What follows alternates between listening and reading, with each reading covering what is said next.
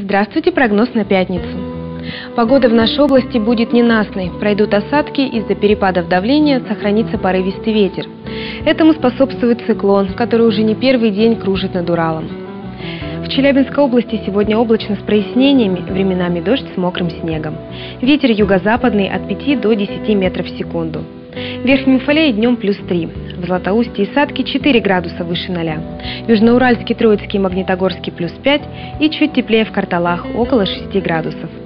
В Челябинске сегодня переменная облачность, кратковременный дождь.